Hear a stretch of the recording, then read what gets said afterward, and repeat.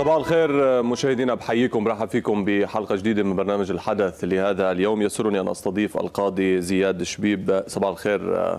صباح الخير. أهلا وسهلا فيك أستاذ زياد. فصح مجيد شكرا بداية فصح مجيد لكل اللبنانيين ومواسم مباركة كلها أعياد إن شاء الله. على امل يعني يكون العام المقبل أفضل حال مثل ما إن شاء الله دائما نتأمل. أكيد. اليوم رح نناقش نحن وياك بشكل أساسي الاستحقاق الرئاسي اللي عم بيراوح مكانه بانتظار كلمة السر من الخارج أو تسوية ما وأيضا مسألة انتخابات البلدية والاستحقاق البلدي.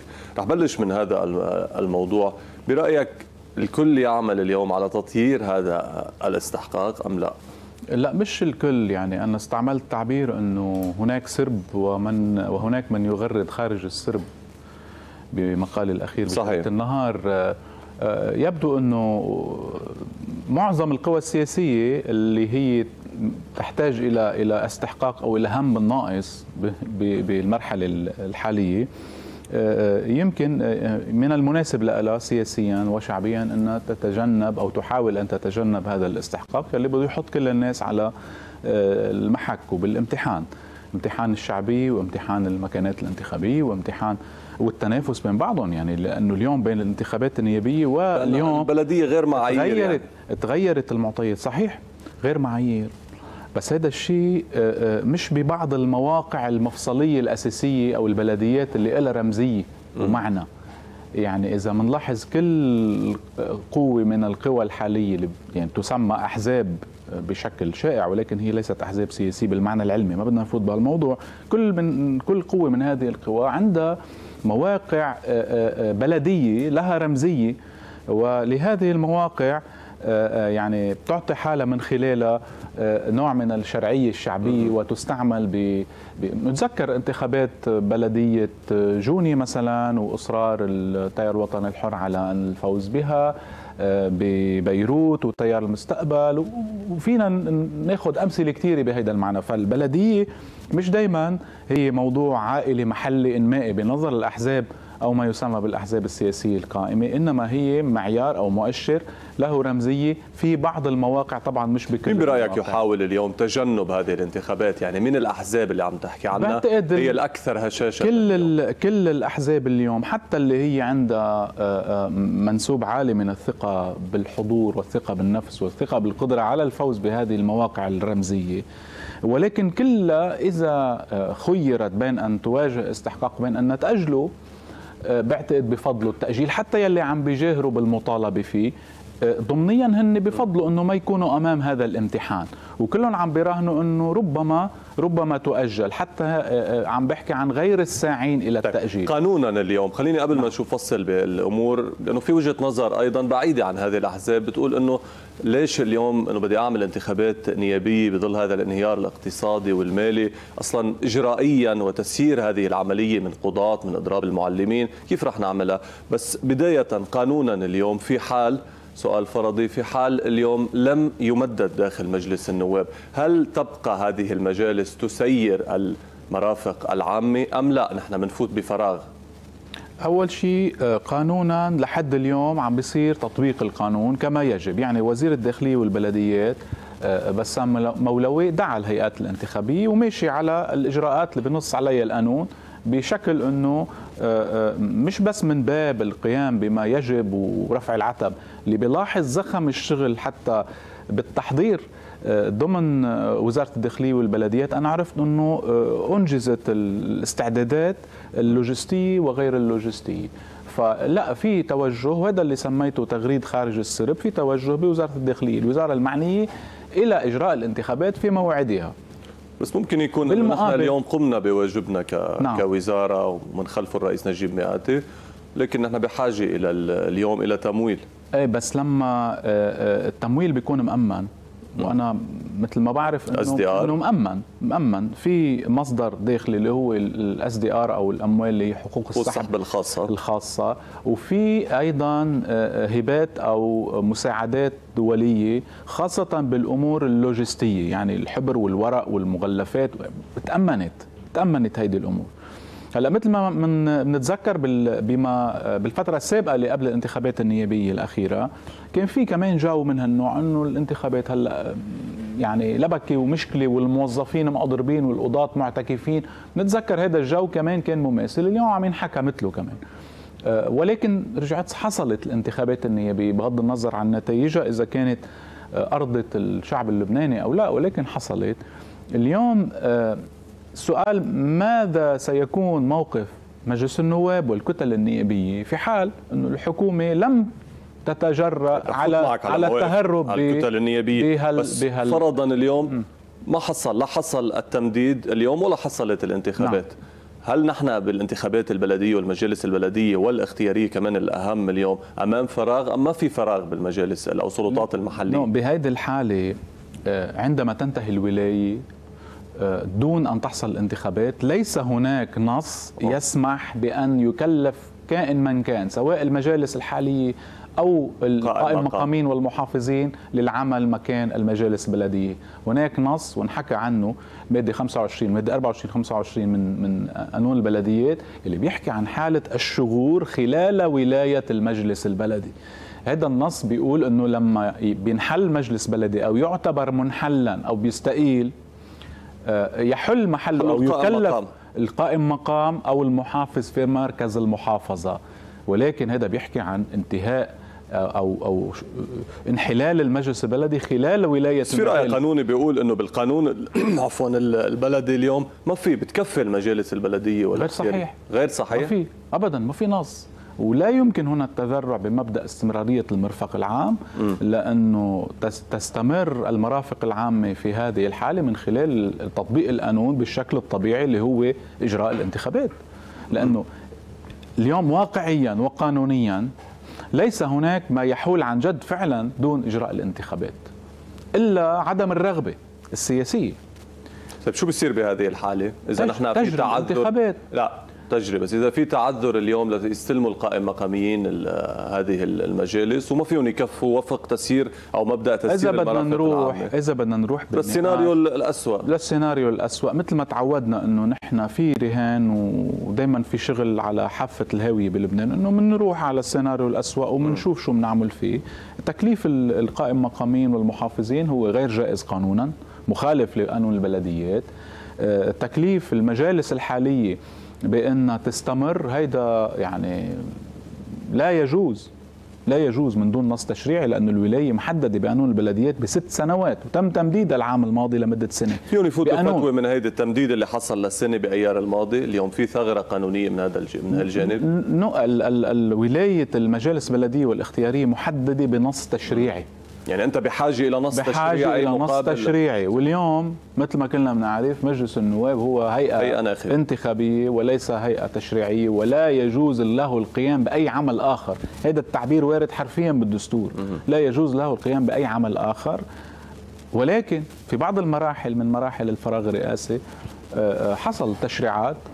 آه، وإذا اليوم اجتمع مجلس النواب وأقر قانونا لتمديد ولاية المجالس البلدية الحالية التي ستنتهي بعد بعد أسابيع. آه، بيكون هناك احتمال للطعن بهذا القانون آه، والطعن به أمام المجلس الدستوري. هناك اجتهاد متكرر صار ومستقر للمجلس الدستوري يقول فيه بأن الهيئات المنتخبة لا يجوز التمديد لها لأنه اعتبر مبدأ الديمقراطية التمثيلية وضع أعطاه مستوى أو مرتبة دستورية ولا يجوز لأي قانون أن يشرع خلاف ذلك تحت طيب. طائلة الإبطال. بلدية بيروت. قبل بلدية بيروت هل بتأيد اليوم في وجهة نظر بتقول بعيدة من الأحزاب المستفيدة أو الأحزاب اللي موجودة اليوم بالسلطة مسألة أنه ليش بدنا نجري الانتخابات البلدية؟ منا منا أولوية اليوم بظل هذا الانهيار بتأيد هذا الموضوع أم لا؟ أه، ضرورة إجراء اليوم هذه الاستحقاق. بظل بظل الوضع الحالي الأولوية هي انتخاب رئيس الجمهورية. م. بس إذا نحن مختلفين على هذا الأمر في عندنا استحقاقات قانونية تاني ما فينا نقول إنه هذا بذكرنا بموضوع الصراع العربي الإسرائيلي لما كان إنه بنقمع الحريات وبنوقف الحياة السياسية والديمقراطية في البلدان التي هي تعتبر حالها الصوت يعني فوق صوت لأنه لأنه نحن هلأ عندنا هم كبير هو بدنا نحرر فلسطين فمن بنقتل الناس وبنخنق الحريات وبنجوع الشعوب يعني. هذا الشيء بذكرنا بهذه اللغة اللي صارت مضى عليها الزمن يعني. عظيم. بلدية آه، بيروت. اليوم في أصوات عم بتقول أنه ضرورة تقسيم البلدية آه، وإيجاد بلديتين أنا موقفي يعني بعتقد إنه صار معروف وسبق وأعلنته من على هذا المنبر الكريم وضد أي تقسيم. لبلدية بيروت إذا كان قائما على منطق منطقة طيب إذا ما كان منطق شرقيه وغربيه نشوف ببلديات بالعالم تكون كل ما كانت أصغر السلطات المحلية. أول شيء على تواصل مباشر تمام. مع مع الناخب وبيكون يعني بيكون أمور لا خير المدينة مش من فقط من من منظور طائف هيدا موضوع علمي. أوكي. هيدا آه، لا يمكن البحث به تشريعيا إلا على أساس دراسة ميدانية علمية. آه، آه، بتشوف أين هي الحدود الحقيقية للتجمعات الإدارية التي يجب أن تكون لها سلطة محلية قائمة بذاتها؟ هل هي أوسع من حدود بيروت الحالية أصلاً؟ حدود إدارية لبيروت اليوم هي أقل من 20 كيلومتر مربع مثل ما كلنا بنعرف. ولكن امتدادها الفعلي الحقيقي الديموغرافي والجغرافي والاقتصادي والإنمائي والتنظيمي هو خارج هال 20 كيلومتر مربع وبعطي أمثلة كثيرة من صبرا ووصولا إلى أه, آه، إلى إلى منطقة الكارنتينا والرمال وبرج حمود وتواصلهم وتداخلهم الجغرافي والسكاني. من المستحيل التشريع لإعادة النظر بوضع بيروت إداريا من دون إعادة النظر بموقعها وحجمها ودورها وامتدادها. مستحيل. وإلا بنكون عم يعني نخبي راسنا بالرمل وعم نجرب بس إنه نستدرج عواطف الناس على أساس طائفي وهذه الطروحات اللي انطرحت لحد اليوم منطلقها هو في مشروع القوات اللبنانية ما بعرف إذا التيار الوطني الحر كمان وافق كمان عندهم مشروع آه، إنه لا مختلف شوي ولكن نفس المنطلقات. مثل اليوم اللي حصل بعد تفجير 4 آب اليوم وعدم التفات البلدية لمناطق واسعه عظيم. الإهمال بحاسب المهملين. هلا هو خلينا نسجل واحد على مش هو الإهمال على على الجميع يعني. إنه عدم إن عدم إنقاذ الناس وعدم إغاثتهم من قبل بلدية بيروت بعد الانفجار بيؤدي إلى محاسبة من أهمل وليس إلى ضرب المدينة وإلى قسمتها إلى مدينتين. يعني يعني ما بعرف كيف هي بتوصل لهيك. هل برأيك هو اليوم إذا بدك هيك مؤشر أو اختبار أو ميزان حرارة اليوم على إمكانية الطرح الجديد اللي على أوسع عم ينطرح. يلي هو أبعد من ذلك مسألة الفدرلي هل هو اختبار اليوم لردات الفعل؟ آه وإذا مشي كمان يكون اختبار فعلي على الأرض لإمكانية طرح سياسي أوسع من ذلك؟ واضح بأوساط معينة.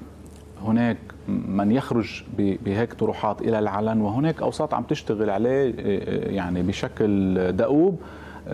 من خلال نخب ودراسات وعم نشوف حتى تسويق إعلامي. لا آه، آه، لطروحات ناس بيسموها فيدرالية ناس بيسموها لا مركزية موسعة وبيضيفوا عليها لا مركزية المالية يلي هي أنا يعني اختصاصي اللامركزية بعتقد أنه تسميتها للامركزية بأنها موسعة وأنها مالية وإدارية هيدي من البديهيات. إلا يلي بيكون عم بيصر على هالمسميات. إذا عنده خلفية تانية بتصير هي نوع من تقسيم المقنع هي حكما نحن بس نحكي عن اللامركزية الإدارية. هي اللي. حكي عنها اتفاق الطائف هي من ضمن المالية بس. بسميها موسعة وتعريف اللامركزية تعريفها بالقانون م. هي الاستقلال المالي والإداري عن السلطة المركزية ضمن آه، حد معين من الرقابة تمارسه السلطة المركزية. مش هون القصة؟ اللي عم تفضل فيه. أنا عم بعطي هذا التوصيف لأرجع لسؤال حضرتك أنه آه، إيه اللي هذا النوع من الطروحات؟ آه، في له وجهين. اول الوجه الأول هو دغدغة مشاعر الجماهير الخائبة من أداء بعض الأحزاب التي تمثل أو تدعي تمثيل طائفة معينة أو طوائف معينة بأوساطها. إذا عم نحكي عن بيروت بدائرتها الأولى وأحياء دائرتها الأولى هذا الشيء صار معروف. صار في تنافس على دغدغة مشاعر الجمهور والناخبين بهالدوائر لأنه اللي معتبرين أنه هن بيمثلوا هذه الدائرة آه، ما قدروا يقدموا شيء لا بالانتخابات النيابية ولا قبل ولا بعدها وصولا إلى استحقاق بلدي. شو عندهم يقولوا للناس؟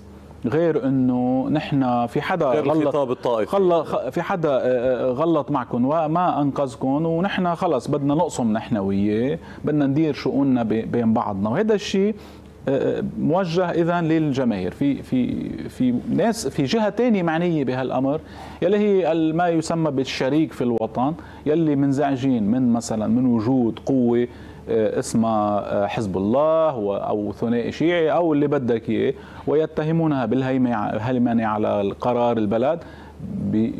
بيهددوا بأنه نحن لا يمكن أن نعيش سوية بهذه الظروف وبالتالي نحن ذاهبون إلى قسمة البلد إلى قسمين أو إلى أكثر.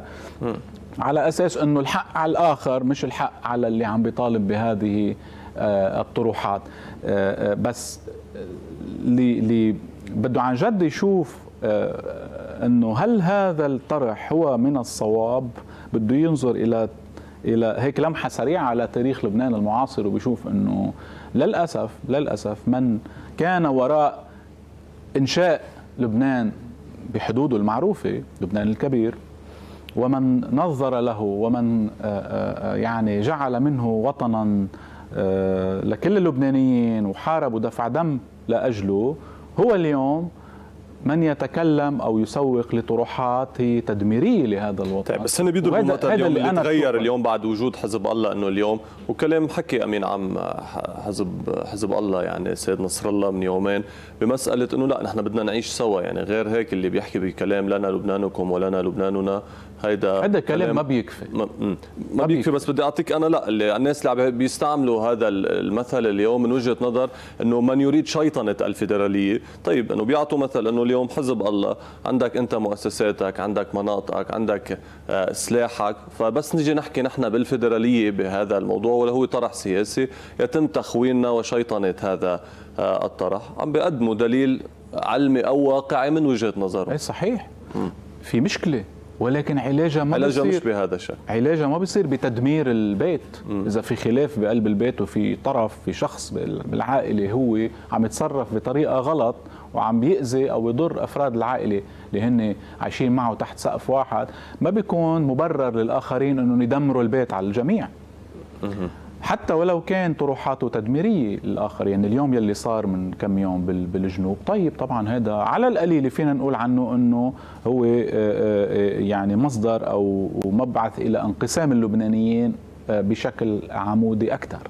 وهذا الشيء شفناه على التواصل الاجتماعي ومش بس بالمواقف السياسيه في انقسام كثير كبير حول هذا الموضوع. معناتها هو ليس موضوعا وطنيا شو ما كان يكون أهدافه وخلفياته برأيك يعني بهذا الموضوع التيار الوطني الحر والقوات اللبنانية عم بيزايدوا على بعض بهذا الخطاب؟ لأنه ما بقى في يقدروا يقدموا خطاب اليوم غير هذا هذا الخطاب ودغدغة هذا الشعور مثل ما وصفتها أستاذ رامز كل الأحزاب اللبنانية تيارات وحركات وأحزاب يعني اللي بتتسمى أحزاب وبرجع بقول إنه هي في علم السياسة ليست هي لقطة يافطات على نعم. غير يعني لقطة يافطة من برا بتفوت بتلاقي شيء غير شيء جوا. صحيح. آه. كل كلها كلها تشترك في إما الفشل وإما العجز بالحالة اللي نحن فيها كلهم. صحيح. من حزب الله إلى القوات اللبنانية مرورا بالجميع. هي بتشوف طروحاتهم بالاقتصاد بتعرف يعني. في فشل وفي عجز. هذا شيء صار ثابت بدليل ما نحن فيه. م. لو ما في فشل وعجز كان في على القليلة بتلاقي مبادرات جدية لا تنتظر الخارج وما بت يعني اليوم معلش بتسمع آه، التجاذب والتحليلات والمحاولات شد الأمور باتجاه أو باتجاه آخر. صار الخارج عم يضحك علينا إنه بنقعد نفسر تعابير وجوه اللي مجتمعين بالصين. تنشوف إذا رح يأثر علينا نحن ونحن اليوم قاعدين هون سوا والبلد الناس مخروبة بيوتها وعم بتموت على أبواب المستشفيات والناس ما معها تاكل.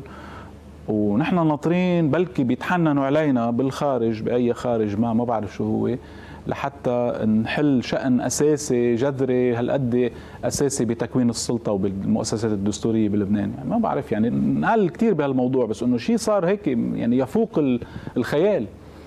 السوريال اللي هل بتسمي بتسميهم هل هذه أحزاب؟ حتى بالإعلام وال يعني الشخصيات السياسية والنخب اللي بتعبر اليوم عن هذه الأحزاب.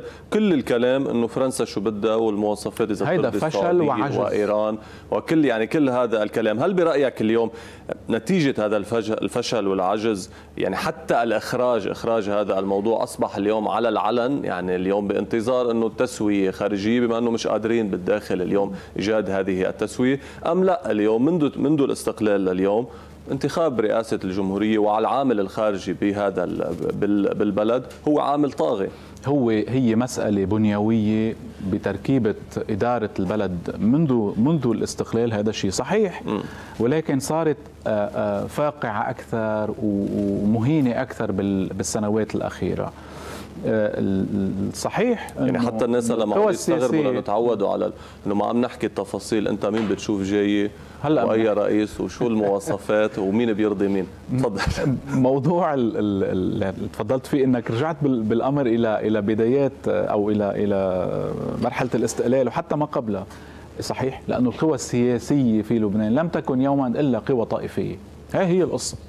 ليش ليه هذا الشيء بيوصل للنتيجه اللي إحنا فيها؟ مم. لأنه القوى الطائفية آه، آه، لا تمارس السياسة تمارس الصراع الطائفي على الهيمنة وعلى السلطة وهيدي هيدي الدائرة المفرغة نحن عم نعيشها من 100 سنة لليوم مشان هيك وصلنا لحرب ولميني حروب بمراحل معينة ولحرب كبيرة 15 سنة بقيت هي الحرب الأهلية اللبنانية. هلأ الأسبوع الجاي عندنا ذكرى 13 نيسان.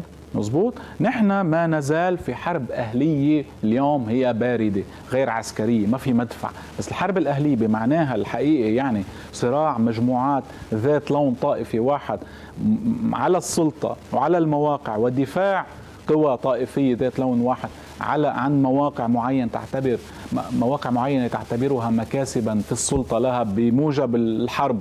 موجب الشرعية اللي أخذتها من الحرب. بالحرب. هل برأيك هيدا هيدي حرب أهلية باردة. بعدنا فيها نحن مشان هيك كل هالقوى السياسية بتكوينها المختلف والمتلون مع بعض الاستثناءات خلال تاريخنا بال سنة كانت على هذا الشكل. هذا النهج السياسي بلبنان. واليوم رح نضل هيك لأنه هذا الموضوع بطبيعة الحال خلال الحرب وقبل وبعد الحرب يستدرج الخارج إلى التدخل الداخلي، نحن بنقدم وراء اعتمادنا كقوى طائفيه لدى الخارج بحاجة إلى دعم خارجي، وعلى هالأساس ننشأ ونقوى ونمارس دورنا بس في إلى أي مدى اليوم عم ترجع هذه هيدا الأمراء؟ يعني أو زعماء اليوم الأساسيين اللي موجودين. عم بيرجع اليوم وعلى أرض الواقع عم بيسكروا مناطقهم اليوم وعم يرجعوا آه، لهذا لهذا يعني للمناطق اليوم ومعسكرات داخلية إذا بدك. لأنه ما بيعرفوا يحكوا الا هيدي اللغة. م. هيدا المنطق يلي بخلي عندهم فعلا سلطة حقيقية ونفوذ في داخل شارع معين. هذا النفوذ يؤدي إلى استمرارهم وإعادة صناعة نفسهم في السلطة من خلال الانتخابات النيابية. والبلدية. أحيانا. هذا هذا الشيء هذا الخبز اليومي تبعهم هل تخشى اليوم؟ بدي أعمل مقارنة صغيرة اليوم. بما أنه العامل الخارجي هو اليوم آه، الطاغي بآليات عمل هذا النظام السياسي ومن ضمنه الاستحقاقات وهو الاستحقاق آه، الرئاسي آه، اليوم. بعد التسوية الحاصلة وتبريد الخلاف السني الشيعي اللي دام أكثر من عقد بين إيران والسعودية وانعكس بساحات مختلفة من اليمن مرورا ببغداد ودمشق وصولا إلى بيروت. اليوم إلى أي مدى بتشبه المرحلة ب 88 وقت اختيار اليوم؟ كان إما المعادلة الشهيرة كان اللي بعد لقاء حافظ الأسد وريتشارد ميرفي. إما مخيل الظاهر أو الفوضى اليوم. وكان في اتفاق خارجي على اسم مخيل الظاهر. نجحت القوى المسيحية أنذاك في تشكيل جبهة والوقوف ضد اليوم فرض هذا الاسم. آه، هل اليوم برأيك قادرة القوى المسيحية في حال جرى الاتفاق على تسوية ما على اسم مرشح اللي بيمثل هذا المحور آه، اليوم الوزير السابق سليمان فرنجية أن تصطف اليوم وترفض هذا الموضوع وممكن الذهاب إلى فوضى ما؟ لا يعني سؤالك بيستدعي إجابات وملاحظات وتوضيحات كثيرة يعني في إحاطة كثير كبيرة بكل ما يجري. أول شيء بدي أعطي ملاحظة على موضوع ما يسمى القوى المسيحية. المسيحيه ونحن اليوم بفترة الفصح. آه، المسيحية اللي تعطى لهذه الأحزاب هي بعيدة كل البعد عن المحتوى والمضمون السياسي والأداء السياسي لهذه الأحزاب. وإنما إعطاء هذه الصفة لنفسها هو من أجل إعطاء الشرعية الشعبية. وهذا الأمر غير صحيح. مسيحي أو إسلامي أو شيء هو تعبير ديني. يجب أن لا يكون له أي صلة أو أي تأثير بمضمون العمل السياسي. هي لحتى لا نحطها على جنب. اثنين. أتمنى ذلك بس اليوم واقعيا على الأرض هي هذه الأحزاب تمثل ما اصطلح على تسميته المجتمع هي المسيحي هي تسيطر على مجمل أو معظم المقاعد النيابية المخصصة للطوائف المسيحية. مسيحي. هذا التعبير اللي أوضح. آه، ولكن ما في شيء من ادبياتها له علاقة بمبادئ الإيمان أو الحياة الروحية المسيحية. هذا شيء معروف يعني. حتى اللي اجتمعوا بدعوة من غلطة البطريرك اللي حصلت والرياضه الروحيه يعني. نعم نعم. الشيء التشبيه أو المقارنة اللي عم تعملها حضرتك وعملوها زملاء آخرين مع سنة 88 آه، استعبال التعمير إنه نجح نجحت تلك القوى بانها تمنع فرض مرشح اتفق عليه الخارج آه، على لبنان وهو المرحوم آه، مخيل الظاهر. ولكن هل هذا الأمر كان نجاحا؟ نجحوا بأن يتفقوا على يعني ما حصل لاحقا هو خراب كبير حل بلبنان لأنه بعد ما اتفقوا على منع انتخاب مخيل الظاهر رجعوا تحاربوا ودمروا صحيح فاتوا آه، بحروب داخلية. يعني دمروا ومات ومات وتهجر مئات ألوف الناس من الشعب اللبناني بهديك المرحلة. اليوم إذا لا سمح الله بده يصير سيناريو مشابه يعني نحن رايحين إلى إلى يعني شيء نتمنى إنه ما يصير. لا بس, بس هو ممكن يكون بالسيناريو الأسوأ بس ممكن القول إذا اليوم توافقت هذه القوى آه، على الرفض أقله نعم. تقدر توقف بوجه تسوية خارجية هلأ شوف في شيء صار قصة العقوبات الأمريكية. مع ملاحظاتي علي أنا إنه هيدي تستعمل بالسياسة وواضح إنه لها أجندة سياسية وإنه هي آه، يعني من دولة معينة من بدون ما نفوت بقصة القوانين والسيادة الوطنية وغيره. ولكن آه، عندها تأثير عندها تأثير آه، يبدو إنه كثير كبير إيجابي ببعض الأحيان ببعض المحطات. لما بتطلع هالعقوبات وكأنه عم تقول لا اللي تفضلتوا ذكرتهم لتلك القوى إنه نحن عارفين كل مرشح إنه في قصة السبونسرشيب اليوم ماشي الرعاية. بالبلد الرعاية للمرشحين وكلهم معنيين فيها. آه، فهيدي الشغلة اللي لازم توقف لأنه هذا الشيء ما بيطلع الرسالة اليوم بما إنك حكيت عن الولايات المتحدة الأمريكية نعم. هي اللي هي بوجه أيضا هذه الرعاية الفرنسية اليوم اللي كانت عم بتسوق هذا الحل. يعني هل دخلت الولايات المتحدة لتقول كلمتها بشكل غير مباشر عبر هذه الرسالة اليوم؟ هلا إذا بدنا في في بعد فرنسي لأنه مثل ما بنتذكر صار اليوم صار بفترة المبادرة الفرنسية الشهيرة بعد الانفجار 4 أربعة. آب. وطرح الحكومة التكنوقراط أو الخارجة من السياسيين أو الخارجة عن الأحزاب السياسية ونشوف لوين وصلنا. مع كل تنازل فرنسي صار في كمان آه، دخول على الخط للعقوبات الأمريكية. اليوم المشهد تقريبا مشابه للي صار بوقتها بس المعنيين فيه أكثر هن قوى محلية. هن قوى محلية. بعتقد ذكرتهم حضرتك اللي عم قال عنهم إنهم عم يجتمعوا ويتلاقوا على آه، اتخاذ مواقف. آه، ما ما بعرف إذا بتصب بمصلحة لبنان من الاستحقاق الرئاسي. التشدد الخارجي للأسف التشدد الخارجي اليوم بالموقف من الانتخابات الرئاسية اللبنانية يمكن يكون أكثر فائدة وأكثر يعني اتصالا بالمصلحة العامة اللبنانية. هذا شيء مؤسف ولكن ما فينا ما نقول إنه فعلا هو موجود. هذا التشدد الخارجي يلي صار هو خشبة خلاص يمكن لعدم آه، انزلاق القوى المسيطرة عنا إلى إلى مكان آه، آه، ما بنتمنى نشوفه بلبنان. طيب. وبالتالي اليوم هل هذه التسوية اللي حصلت بالمنطقة نحن رايحين اليوم ممكن إمكانية اتفاق على على رئيس أو تتقدم الفرصة الثالثة أو الخيار الثالث مثل ما نقول أم لا؟ ممكن يحصل تسوية وتنازل أو مقايضات بالساحات يعني بينحكى بين إنه اليمن تعطيك بلبنان. هل برأيك اليوم نحن رايحين إلى هذا المشهد أم لا؟ ممكن يتقدم الخيار الثالث نظرا للظروف الاقتصادية اللي عم بيعيشها البلد وأي حل مرتبط يعني بالفترة المقبلة بده يكون من خارج الاصطفافات التقليدية. هلا هذا الموضوع فيه تسويق كثير له كل فريق عم بيسوق لما يشتهيه. إنه في ناس بدهم يعطوا باليمن وياخذوا بلبنان وناس عم بيقولوا إنه لا هذا الشيء ما بيصير. اللي بيتابع عم يشوف شو عم بيصير باليمن وبغير اليمن. عم يشوف في سريعة جدا. سريعة بس في توازن. يعني عم ينعمل حلول اتفاقات على حلول متوازنة تعطي للناس دورها الحقيقي يعني. عم بتراعي ما هو موجود. يعني ما حدا عم يكون منتصر على على طرف آخر. يعني ما عم يتسلم بلد لمحور.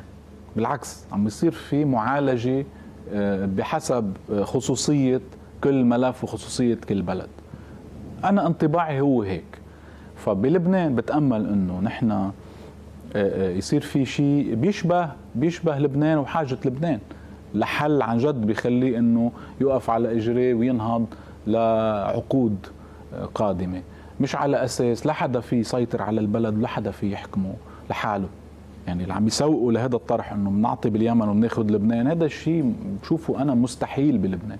لأنه دائما بتوصل اي مدى أصلا النقاش اليوم كنت عم تحكي بإشارة حضرتك لمسألة الانتخابات النيابية اللي حصلت وشفنا الجو والخطاب السياسي اللي كان بالبلد قبل الانتخابات النيابية إنه هذه الانتخابات هي التي ستغير وجه البلد وهذه الانتخابات هي الحل. بعد انهيار آه، تاريخي آه، اقتصاديا حصل. شفنا حصلت هذه الانتخابات ولم يحصل شيء. اليوم إلى أي مدى يستقيم النقاش؟ كمان بوهم جديد للناس أنه هذه الانتخابات الرئاسية وانتظار الرئيس يمكن بهالفترة أفضل من بعد بعد ما يجي الرئيس لأنه بضل في أمل اليوم عند الناس أنه بس يجي الرئيس اليوم راح تنحل كل هذه المشاكل. إلى أي مدى إذا اجى الرئيس جمهورية اليوم من دون انعكاس لتوازن ما أو توازن قوة داخل مجلس صحيح. النواب بيقدر يفرض إصلاحات بي أو بي خيار سياسي أو رؤية توازن على مستوى سواء البلد. صح أم غلط.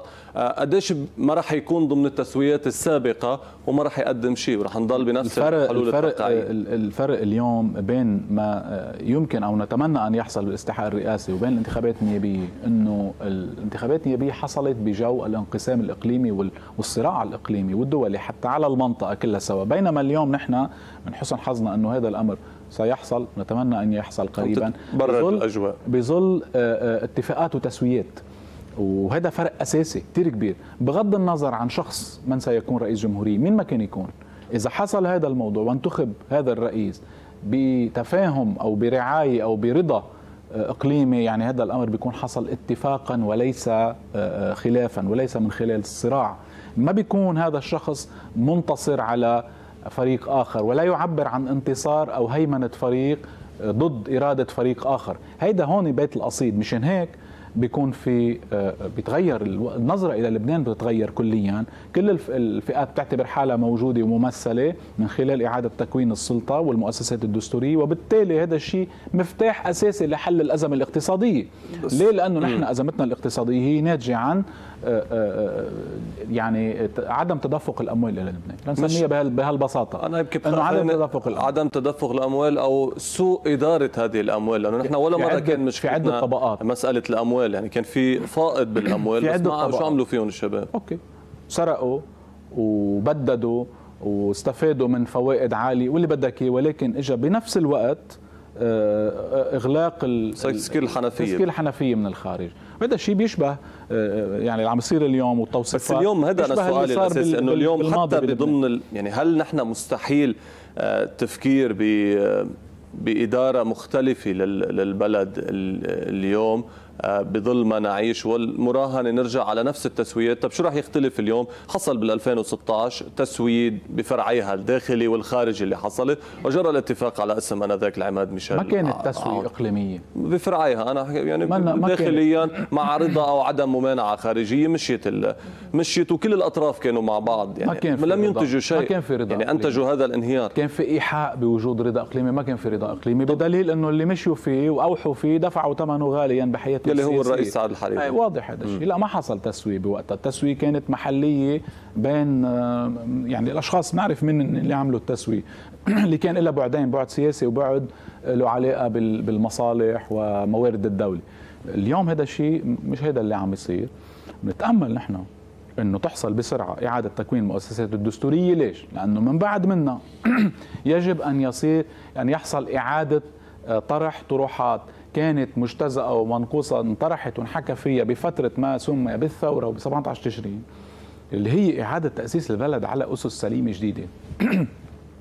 إذا ما عملنا هيك بعد مرحلة انتخاب الرئيس والتكوين السلطة بكون مثل ما تفضلت رجعنا دخلنا بالحلقة المفرغة. طيب ممكن نروح لأنه في هذه الحلقة المفرغة وانسداد الأفق السياسية. يعني وصلنا لديد لوك يعني سواء بمجلس النواب نتيجة هذه ال...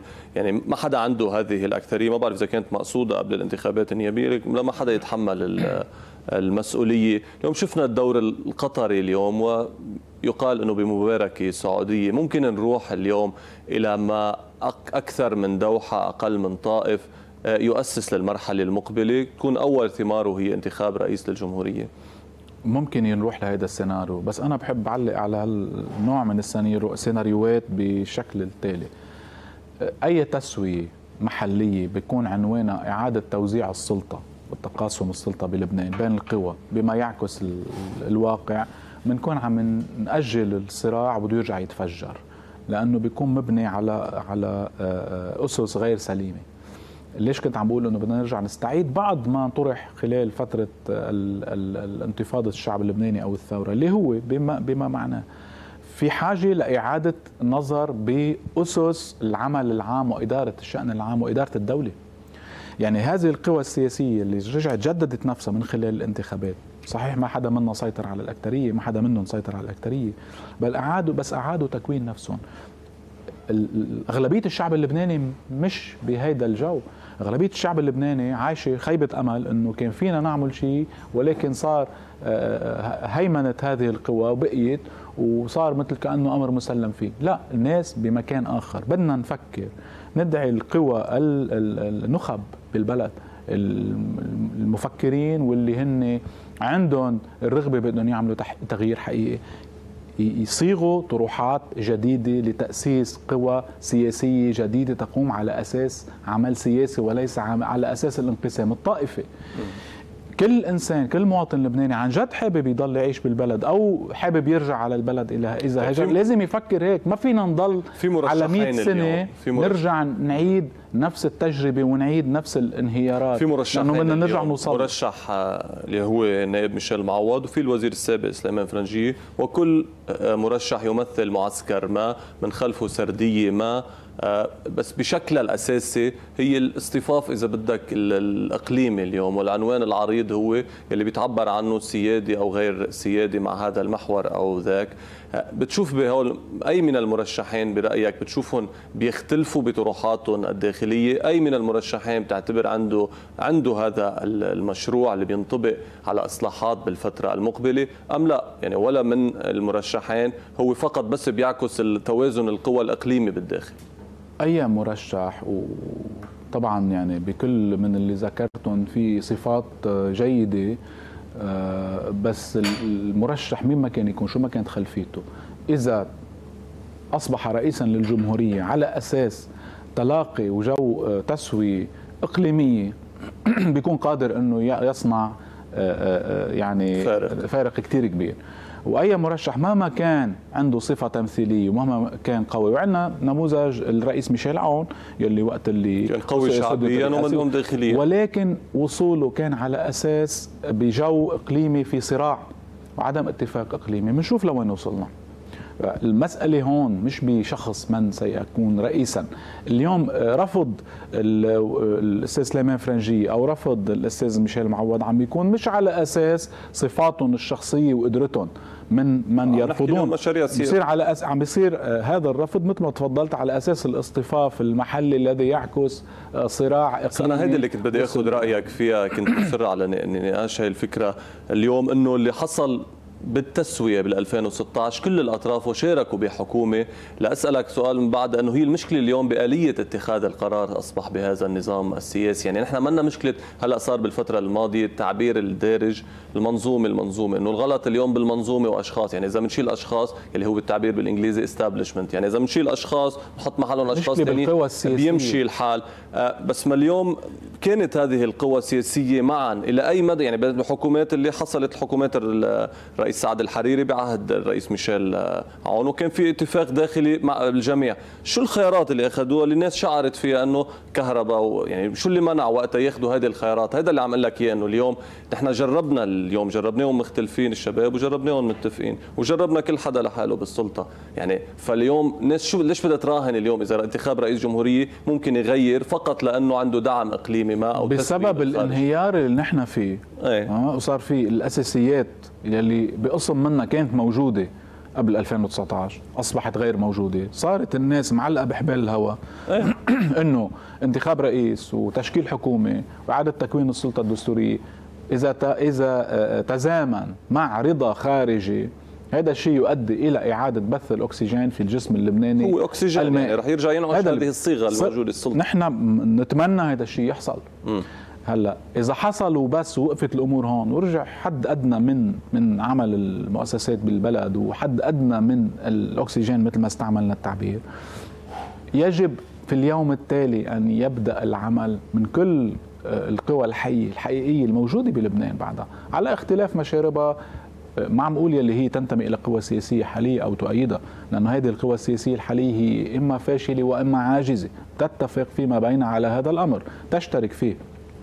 أنا أدعو كل اللي هن من خارج الانتماء أو السير وراء هذه القوى السياسية إلى المباشرة بعمل سياسي على أسس جديدة. شرط إنه ما نرجع نسترجع أدبيات الماضي لأنه في كثير من ال ال الكيانات الجديدة اللي طلعت أحزاب أو شخصيات أو ناس طلعوا برعوا في منهم فازوا بالانتخابات النيابية. هن عم يرجعوا يستعيدوا آه، يعني طروحات ماضية موجودة ومطروحة بلبنان بحاجة إلى فكر سياسي جديد يأسس لنشوء بلد قائم على أساس المواطنة على أساس المساواة على أساس إنه نقدر نعيش ل 100 سنة لقدام من دون ما نكون مضطرين إنه نكون عندنا آه، آه، يعني شخص سبونسر أو زعيم أو شخص يحمينا من جارنا. يعني هذا هذا المنطق عم تحكي عن مرحلة بتعاقد اجتماعي ما يلي ما يلي لا لا ما يلي هذه التسوية اللي بدها تصير إذا حصلت تسوية ونشأ عنا رئيس وحكومة من اليوم التالي لازم يبلش في آه، دينامية جديدة خارج إطار ما يسمى بالأحزاب أو القوى السياسية الطائفية الحالية. من اليوم التالي. رح ناخذ فاصل رئيس. بعد بعد الفاصل رح أسألك اليوم عن النصاب اليوم والجدل وفي حال تمت هذا لأنه جرى الإيحاء أو التلويح اليوم بال 65 أو غير ال 65 لكن اسمح لي رح ناخذ فاصل قصير بعد الفاصل نتابع تمام.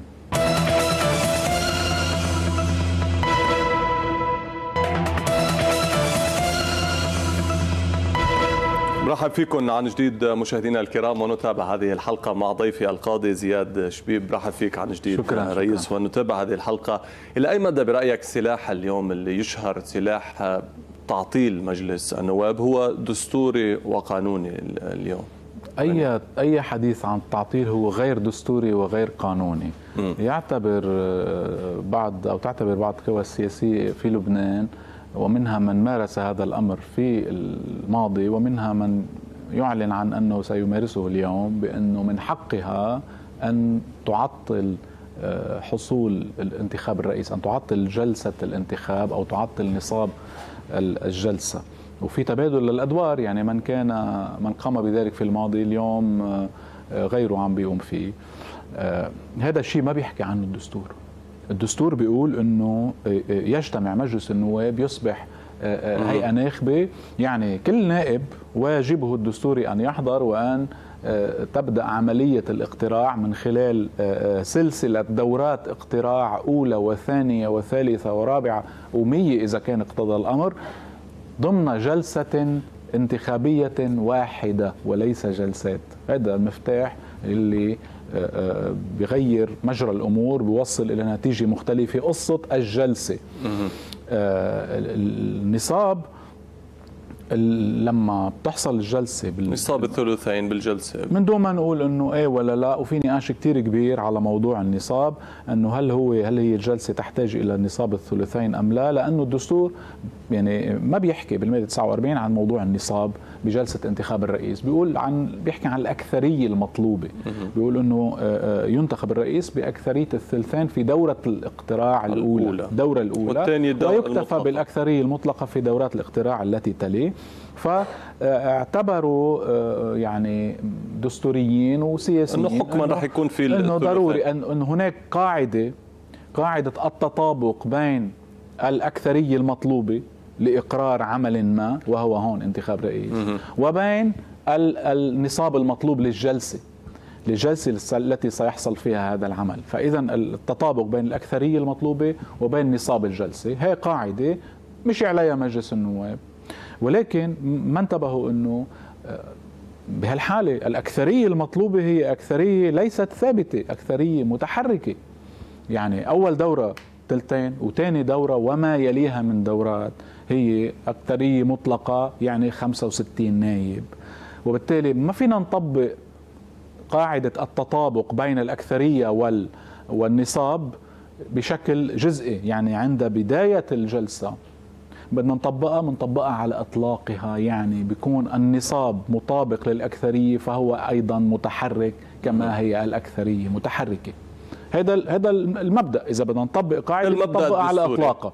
نطبقها على إطلاق. ما صار تطبيقها على إطلاقها. يطلب يطلب بعد من القوى الحاكمة إنه يكون نصاب الثلثين مستمر كل جلسة الانتخابات. وهذا مثل ما قلت إنه آه، مخالف لقاعدة التطابق يلي هن طبقوها.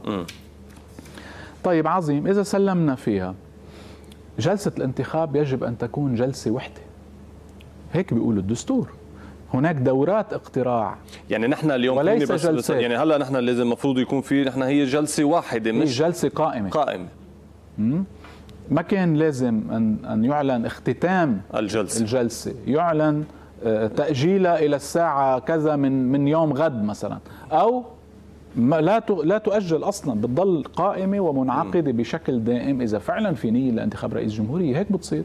من لحظة حصول الدعوة آه، يلتئم مجلس النواب وبيضل يصير في دورات اقتراع متتالية إلى حين خروج الدخان الأبيض. هذا الموضوع آه، صرنا آه، يعني شارحينه كثير وكتبت عنه عدة مرات. اللي اللي عم بيصير هلأ إنه هلأ في قوى عم بتقول إنه هي قد لا تؤمن النصاب. النصاب. سؤال. إذا حصلت جلسة اليوم ما يسمى جلسة وهي ستكون دورة اقتراع شو هي الأكثرية المطلوبة لانتخاب الرئيس فيها؟ هل نحن بحاجة إلى ثلثين أو 65 بحسب نظرية اللي عم يعني السائدة اللي عم تطبق أنه لازم يكون في ثلثين. ثلثين. ولكن لانتخاب الرئيس لازم يكون في ثلثين. البعض بيقول إنه إيه لازم هذا الشيء يصير بالثلثين بدورة الاقتراع الأولى في حال حصلت جلسة بكرة. لازم يكون في تلتين موجودين ولازم تلتين يصوتوا لمرشح في الدورة الأولى لكي يفوز. هذا الشيء غير صحيح. م. إذا حصلت جلسة وكان فيها في نصاب التلتين. في نصاب التلتين. صوت له مش تلتين في الدورة الأولى. صوت له 65 بيكون رئيس. بيكون رئيس. ليش؟ لأنه دورات الاقتراع التي حصلت فيما سمي بالجلسات السابقة. هي دورات اقتراع أولى وثانية وثالثة.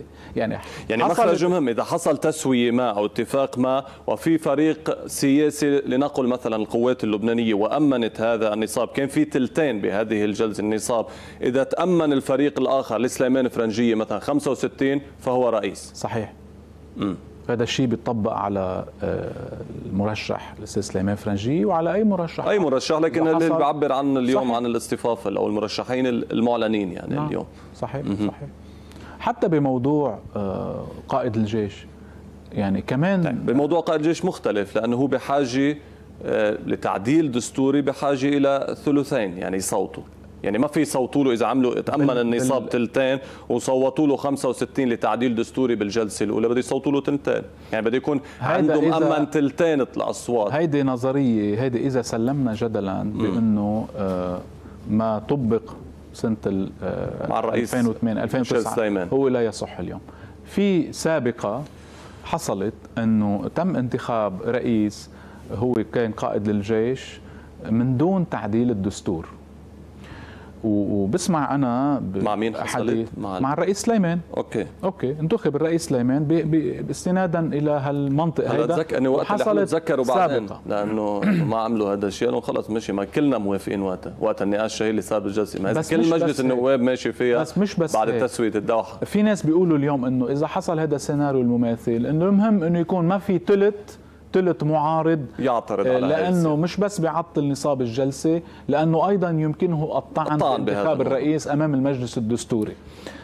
بس الأهم من هيك إنه بوقتها كان في دراسة قانونية بغض النظر عن عن رأي أي كان فيها اليوم ولكن هي اللي كانت السند الذي تم من خلاله الذهاب بهذا الاتجاه. تقول بأنه لأنه نحن في حالة فراغ الأحكام العادية التي تتعلق بمهل الترشح يعني الموظفو الفئة الأولى هن بحاجة إلى ستة أشهر. هيدي المهل تسقط استنادا إلى هذه النظرية وهذه مبنية على اجتهاد للقضاء الإداري والقضاء الدستوري في الحالات الأخرى. يعني لما بيكون بالانتخابات النيابية نحن بنكون أمام انتخابات فرعية الموظف اللي كان بده يستقيل قبل بسنة أو بست أشهر لحتى لا يقدر يترشح بيقدر يترشح فورا بيستقيل. تسقط هذه المهلة. فعلى هذا الأساس على سبيل القياس تم الاستناد لها. وبالسياسة مثل ما تفضلت كمان انقال إنه نحن اليوم ما زال كل الناس مشاركة ما حدا رح يطعن فماشي الحال. هذه السابقة آه، آه، تم الحديث عن استبعادها مؤخرا. ولكن لحتى نوصل للي لسؤالك اللي تفضلت فيه إنه هل يجوز انتخاب العماد جوزيف عون اليوم بجلسة تحصل أولى بأكثرية 65 تصويتا؟ استنادا إلى السابقة اللي عم نحكي عنها أنه لا حاجة لتعديل الدستور في هذه الحاله في هذه الحالة. يجوز. إيه طبعا يجوز لأنه الدورة الأولى صارت. يعني ما ينطبق على المرشحين الآخرين على الاستاذ سليمان فرنجي أو أي شخص كان ينطبق على الجنرال جوزيف عون آه، من حيث المبدأ أنه 65 في دورة تحصل في جلسة مقبلة لأنه الجلسه هي دستوريا مستمرة منا جلسات والدورات اللي صارت بالماضي هي دورة أولى حصلت بأول مرة حصلت الدورة الأولى. يعني كل دورة من وقتها لليوم يجب أن تحصل فيها يحصل فيها المرشح على 65 فقط ويكون منتخبا رئيسا للجمهورية. مين ما كان يكون؟ فالعائق اللي عم ينحكى عنه على انتخاب قائد الجيش بعتقد أنا أنه هو يدل أو هو انعكاس للتفاوض السياسي وللرفض السياسي مش انعكاس كيف شفت اليوم إنه أيضا القوى اللي نشأت كنا عم نحكي عن 17 20 إنه بعد 17 20 أيضا فاتت على خط استخدام هذا السلاح. أصلا في انقسام بينهم يعني اليوم بهذا بهذا الموضوع إنه لا كمان هي بتقاطع النصاب إذا في مرشح مش عزوقه أو ما ما بتدعمه يعني هن للأسف آه، يعني شوي شوي ومع كل استحقاق دخلوا في آليات وأدبيات القوى الحاكمة. من بدءا من انتخاب رئيس مجلس النواب ونائب للرئيس لما ما صار في ترشيح لأي شخص من غير الطائفة الشيعية الكريمة إلى رئاسة مجلس النواب أو من خارج الطائفة الأرثوذكسية إلى نيابة الرئاسة معناتها صار في تسليم بالواقع الحالي خلافا للأدبيات اللي كانوا عم يطرحوها قبل الانتخابات ووصولا اللي وصلنا له نحن اليوم مع إنه بوقتها انتخابات رئيس المجلس كانت فرصة لإجراء مداورة في المناصب الفئة الصف الأول إذا بدنا نحكيها مناصب الصف الأول الدستوري كان في إمكانية وفرصة تاريخية بلبنان إنه نباشر بعملية المداورة يلي أنا ما بشوف أي شيء بيمنع انها تصير اليوم أو بالمستقبل. لازم نوصل ورح نوصل إذا كان عن جد نحن بنحب بلدنا. المداورة شو اللي بيمنع إنه يصير هذا الأمر؟ ما حصل وما بادروا له هن الناس اللي هن من خلفية تغييرية آه، وصلوا لليوم دخلوا في أدبيات وصراعات القوى الحاكمة للأسف وصاروا جزء منها.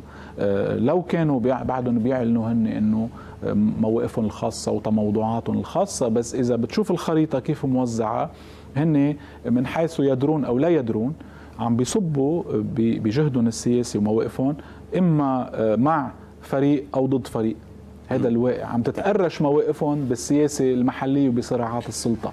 سؤال أخير اليوم إضافة إلى هذا الاستحقاق اليوم هذه السلطة اليوم القوى السياسية أمام أيضا سباق مع الزمن بمسألة انتهاء ولاية حاكم مصرف آه، آه، لبنان. في حال لم ينتخب رئيس قبل آه، اليوم أو قبل انتهاء ولاية الحاكم بتموز بعتقد ووسط إعلان الرئيس بري أنه النائب الأول بما أنه شيعي ما راح ما راح يتحمل هذه المسؤولية. اداريا كيف اليوم؟ مين بي مين بيستلم؟ ما بعرف مين النائب الثاني والثالث بس إذا بس كان لحتى ما يستلم نائب الحاكم الأول بده يستقيل. إذا ما استقال بده يستقيل. حكما. هو آه، يعني موجود بحكم بحكم لازم النص بحكم يستقيل. القانون وفي نائب حاكم ثاني إذا وثالث كفوا شا- كلهم يستقيلوا.